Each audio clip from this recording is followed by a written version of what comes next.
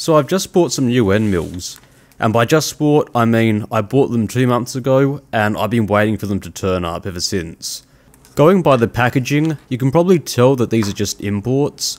I have a bunch of name brand end mills, but to be completely honest, I've been pretty impressed by the quality of some of the import end mills that I've been getting, at least compared to the quality that they used to be. Now this time I bought some roughing end mills because I wanted to see what the quality was like and at the same time, I also picked up some solid carbide end mills. Now my mill probably isn't rigid enough nor powerful enough to run these at the optimal feeds that they're designed for, but I am curious to see what they can do. Plus my mini lathe isn't really suited for carbide and I've gotten away with using it for years. Plus I'm also interested in what an $8 carbide end mill can do. Now I could hold these end mills in my ER20 collet holders, but since I have solid carbide, I wanted to try something new. For a very long time, I've wanted to try some heat shrink tooling or shrink fit tooling. I've seen it under different names. If you've never seen shrink fit tooling, it's just another method to hold carbide end mills. We all know that when you heat metal, it expands, and when you cool it, it contracts. So in theory, we can use these characteristics and make an end holder. What we need to do is make a tool holder with a hole that's slightly too small for an end mill to fit in at room temperature, but when we heat it up, the end mill is able to fit in the hole because it expands, and when it cools, it contracts and presses on the end and holds it into position.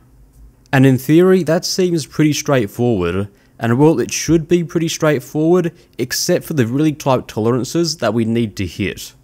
But we'll work that out as we go.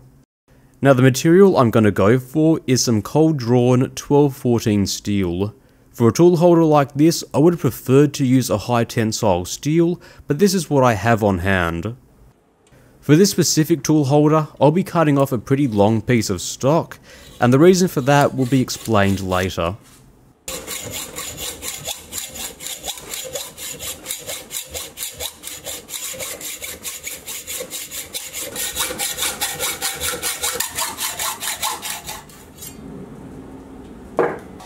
I'll first turn down the end that will fit into the spindle collet.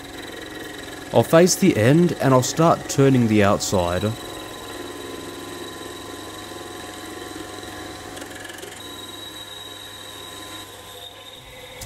Now I could really tell that the lathe was struggling with this material, and as it turned out, it was the carbide insert.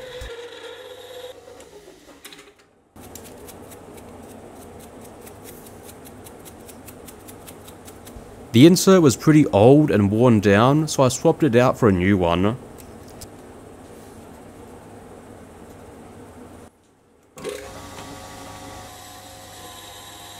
And you can really tell how much better the new insert is cutting. Not only can I push the lathe even harder, but the results that I get from cutting is a lot better.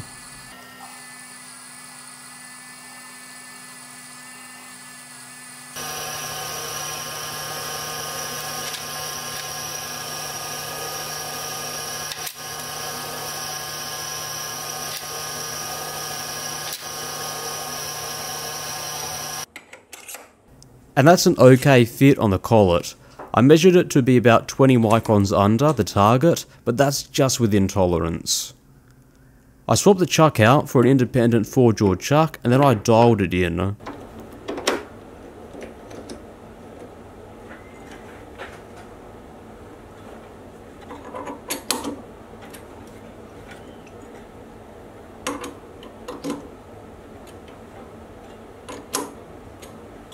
I then took the outside down to 22mm. Now I left a flange to help me hold the tool holder while I heat it.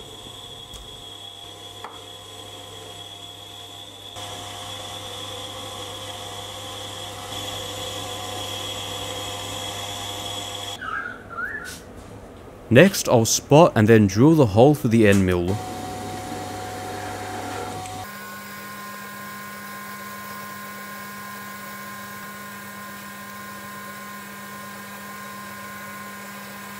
Now the most important part here is that the hole is perfectly on size, and to do that, I'll use a boring bar to bore it to size.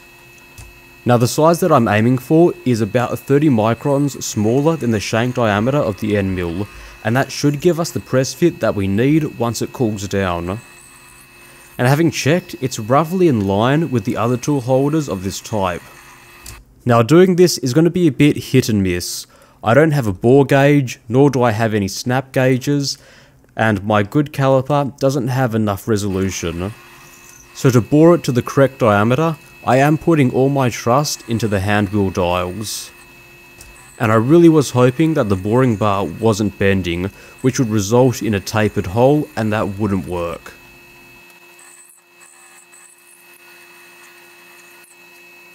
With the hole hopefully done and to size, I swapped out the cross slide to get the old compound back. I'll set the compound at a 5 degree angle and I'll turn down the holder.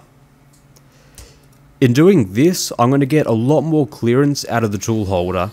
In fact, there isn't any other tool holder that I have that has this much clearance. In fact, it's one of the reasons why these are really popular on 5-axis CNC machines, and in fact that's the only place that I've ever seen these in person. They can get into really tight spots without too much worry of crashing the tool holder. And it's also the reason why I'm making this tool holder in this specific shape. Aside from out of curiosity, I have a part that I need to machine in the future with a very tight clearance and this tool holder will be perfect for it. I am aware that I could use a long shank end mill, but this is a lot more fun to do and it's a lot cheaper.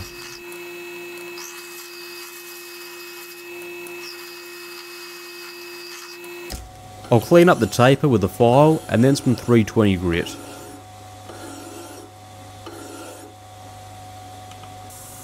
And I forgot to cover the ways, so I'll have to give it a quick clean before I use the lathe.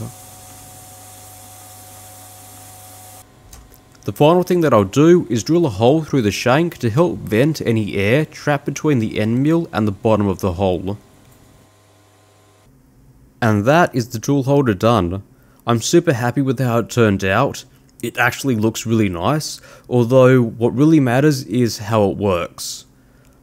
And I really do hope that it works. It took a long time to make and hopefully it's rigid enough.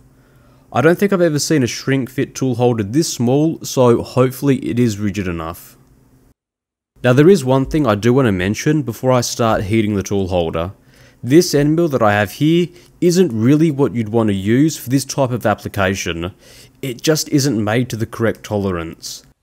Everything is made to a tolerance and end mills are the same. With this being an import off AliExpress, there is no tolerance mentioned, but if you measure it with a micrometer, you'll clearly see it's somewhere between 0.01mm below 10mm. Now I don't have a finer resolution micrometer, so I'll say it's 5 microns below 10mm. Thankfully I was aware of all of this before I made the tool holder, so I could account for that when I bored out the hole. If you want to properly do this and use off-the-shelf tool holders, you'd want to use an H6 tolerance end mill, and those are made for heat shrink tool holders. To heat up the shrink fit tool holder, I'll make up a bracket from a scrap piece of aluminium. I could bore a hole with the boring head, but I'll use this wood boring bit to make the correct sized hole. It's not really made for metal, but I've gotten away using wood tools on metal, or at least aluminium before in the past, without damaging them.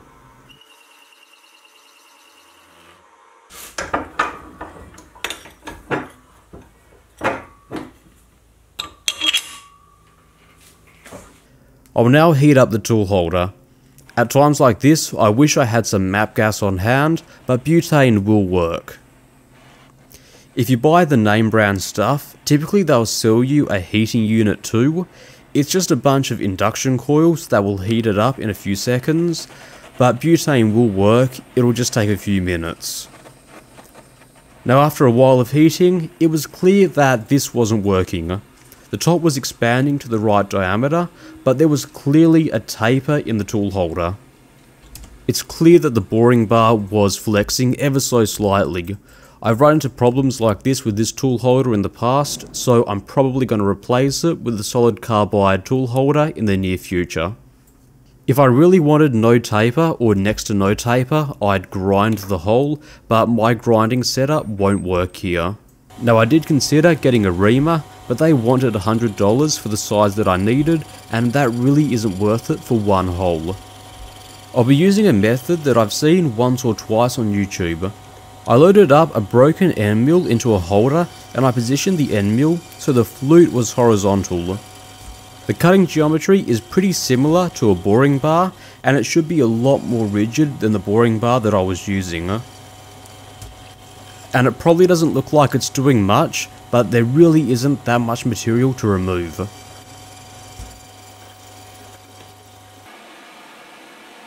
And once again, I heated the tool up and the end mill very easily went in about 90% of the way. There was clearly a bit of taper that I didn't remove, but that shouldn't be an issue. 90% of the way should be enough. Now the tool holder is pretty hot, so I'll give it about 30 minutes for it to cool down. Now the heat had discoloured the tool holder, so I cleaned it up in the lathe. And that's the tool holder done. Next to an ER collet, you can really see the size difference. There is a lot more stick out compared to the ER collet, but I designed it this way because I need it when I mill apart in the future, and I really will be needing that clearance.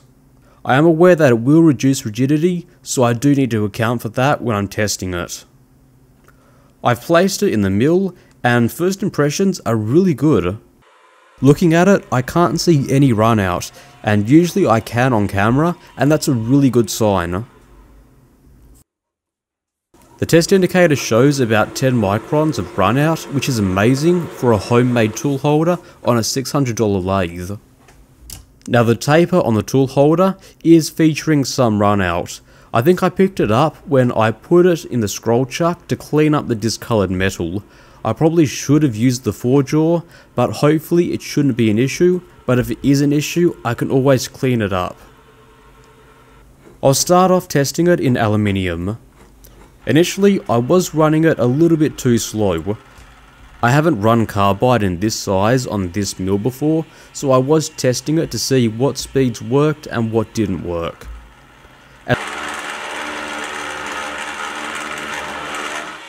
As I cranked up the RPM, the results got a lot better very quickly. Initially it was pretty rough, but I learned that pretty much maxing out the RPM was the best way to go. Now the cuts were pretty good, but the finish wasn't amazing. I think the tool wobble in the taper was causing some vibration that was causing it. I wasn't getting it at low speeds, so I think it's the wobble in the taper.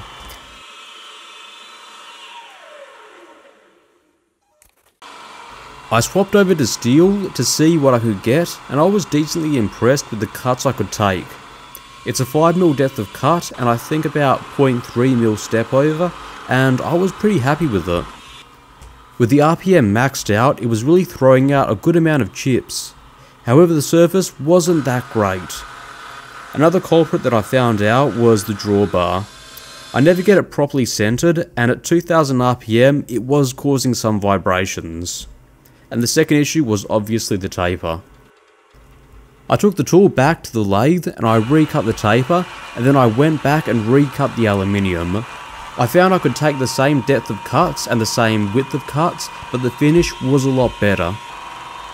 I'm also sure that the stick out is also a factor in the surface finish that I'm getting, but I really need the stick out to get the clearance.